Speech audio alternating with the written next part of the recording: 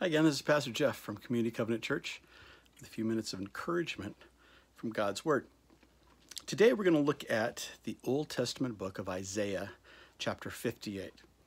And Isaiah is giving God's message to the Israelites, and he's specifically confronting phony worship.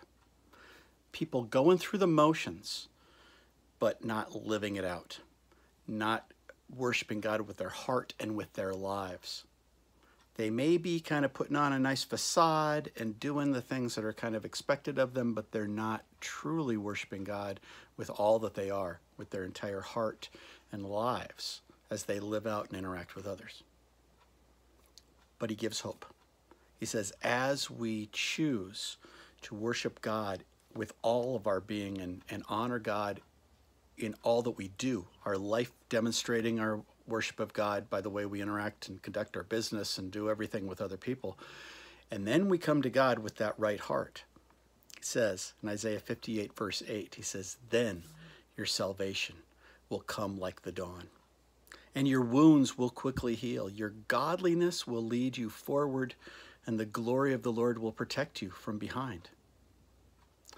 There is a natural result of our heart response towards God. When we come to God truly worshiping Him with humility and a willingness to follow Him as not just our Savior, but as the Lord, as the boss, the one calling the shots, that He is leading and we are following in obedience. When we're living that life, completely devoted to following Him, then we're going to experience the natural benefits of that. We're going to be closer to God. We're going to receive more of His presence. We're going to see receive the natural results of His healing and life flowing through us. We'll experience this salvation, wounds, healing, godliness leading us forward. The glory of the Lord will fill our life and protect us from the negativity and all the other things because God is filling us up and His light makes the darkness have no chance in comparison. So the question for us is Am I following and, and honoring God with all that I am? My heart, my mind, my soul, my actions, my life. Does it represent that He is the number one spot in my life? Because that's when we will experience the fullness of His presence and the blessings of a God who we worship and we receive the blessings from as well. Let's pray.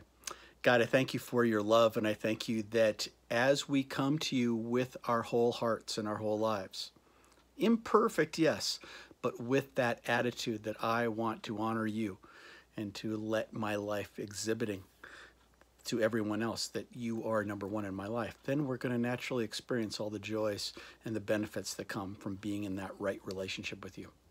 God, thank you that you meet us right where we are and that as we open ourselves up, you're the one who can help to transform those parts of our life that need to be renewed.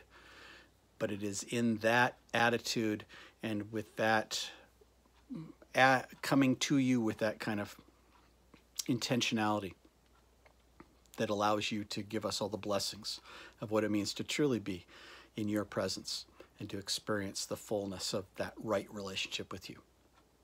We thank you and we praise you for a God who cares about us and welcomes us in this way. We ask this in Jesus' name. Amen. Once again, let me read Isaiah 58, verse 8. If we get our life correct with God and come to Him with the right attitude, then your salvation will come like the dawn, and your wounds will quickly heal. Your godliness will lead you forward, and the glory of the Lord will protect you from behind. That's where I want to be. That's the situation and the positioning that I want to be in the center of God's presence because I am trusting and following Him with all that I am. God bless you as you do the same. And we'll see you soon. Bye bye.